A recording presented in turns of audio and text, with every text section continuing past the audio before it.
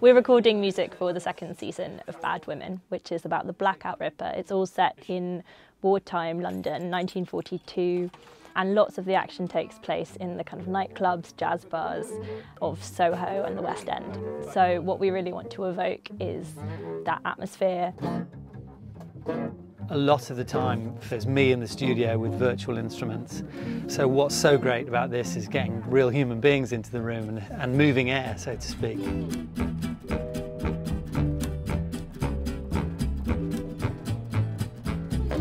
Is there any alternate? I mean, obviously to the junk, junk. yeah, yeah, Can, we can, you sort of spread it? Imagine that the crowd has got quite a bit noisier and you're going to belt the tune out because you, you, you played it a bit more up and out on the second time, which is really nice. Yeah, yeah, okay.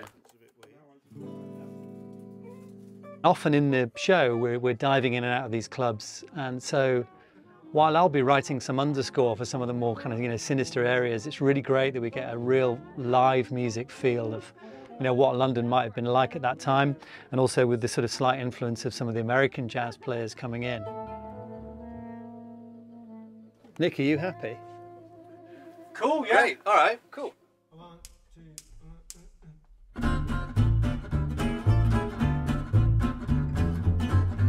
What I'm hoping to do with this is sometimes we might be literally in a nightclub and listening to this band play, so we'll treat it to sound like there'll be crowds. I was trying to get them to kind of imagine, you know, a lot of drunk people or um, general mayhem around them. They just wanted the feel of a live band working together and hearing each other. Because, you know, the mistakes are beautiful. These bands would have been playing in front of crowds and they might be half pissed themselves, you know. So things falling apart, things bending a bit, being out of tune, those are all the lovely human qualities that you get when you come in a studio with people.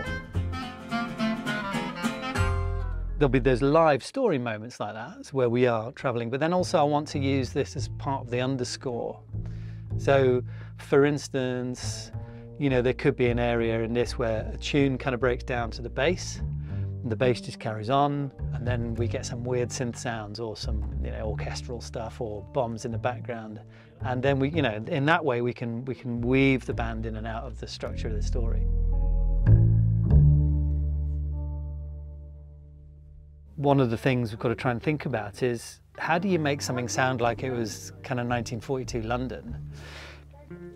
Because the reality is, if you walked into a restaurant in 1942, it probably wouldn't sound much different to, you know, what a restaurant sounds like now. And yet, to our ears now, if you hear a nice, a beautifully recorded restaurant, it's not going to take you back to the 40s. So there's quite a lot of degrading, if you like, some of the material, so that it tricks people into thinking, oh, well, it sounds like it might have been recorded back then, therefore we are back then, you know. So there'll be a bit of that with the band as well, trying to maybe, maybe at times sticking it on a gramophone, just to give it a feel of the period.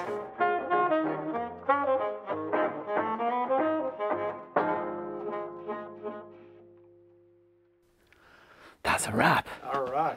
Thank you very much, chaps. You. Yeah, brilliant. Are you happy, Nick? Great. That's everything, everything I wanted to do. Smash it. Listen to Bad Women, The Blackout Ripper, wherever you get your podcasts.